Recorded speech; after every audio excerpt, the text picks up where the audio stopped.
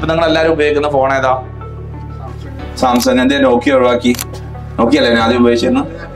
അതെന്തേ ആ നിങ്ങൾ മാറിയല്ലേ ഒരു മാറാത്തോണ്ട് അപ്പൊ നിങ്ങളെ സ്വന്തം ആൾക്കാരല്ലേ? നോക്കിയക്കാരൻ നിങ്ങളെ സ്വന്തം കമ്പനിയാണ് നിങ്ങൾക്ക് ഒരുപാട് കാലം നിങ്ങൾ ഉപയോഗിച്ച ആൾക്കാരാണ്. അങ്ങനെയൊക്കെ ചിന്തിച്ചൂടായിരുന്നാ? ഇന്നത് ചിന്തിക്കാതെ. കസ്റ്റമർ നിങ്ങൾക്ക് അങ്ങനെ ചിന്തിക്കൂല.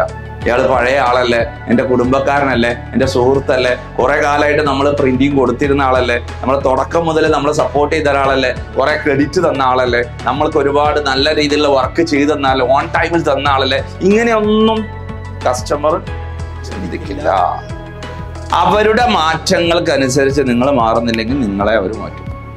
അതിന് കസ്റ്റമറോട് ദേഷ്യം പിടിച്ചിട്ടൊന്നും കാര്യമില്ല. കസ്റ്റമറോട് ഒരു ദേഷ്യം വെച്ചിട്ട് കാര്യമില്ല. അപ്പൊ നമ്മുടെ ഒരു കാഴ്ചപ്പാട് എന്താ? നമ്മൾ വളരെ പെർഫെക്റ്റ് ആയിട്ട് എല്ലാ സമയത്തും മാറ്റങ്ങളിലല്ല. നമ്മൾ ഇപ്പൊ കറന്റ്ലി ഉള്ള ചേഞ്ചസും നമ്മുടെ ചേഞ്ചസും നമ്മൾ ഒരു കമ്പാരിസൺ സ്റ്റഡി നടത്തണം. നമ്മൾ ഇപ്പൊ മാർക്കറ്റിലെ ചേഞ്ച് എവിടെയാണ്? നമ്മൾ എവിടെയാണ് നിൽക്കുന്നത്? എത്ര ഡിസ്റ്റൻസ് ഉണ്ട്? ഈ ഡിസ്റ്റൻസ് ആണ് നിങ്ങളുടെ ടേൺ ഓവറിലെ ഷോർട്ടേജ് നിങ്ങളുടെ മാർക്കറ്റിൽ ഇപ്പൊ എത്രത്തോളം അപ്ഡേഷൻ നടന്നിട്ടുണ്ടോ?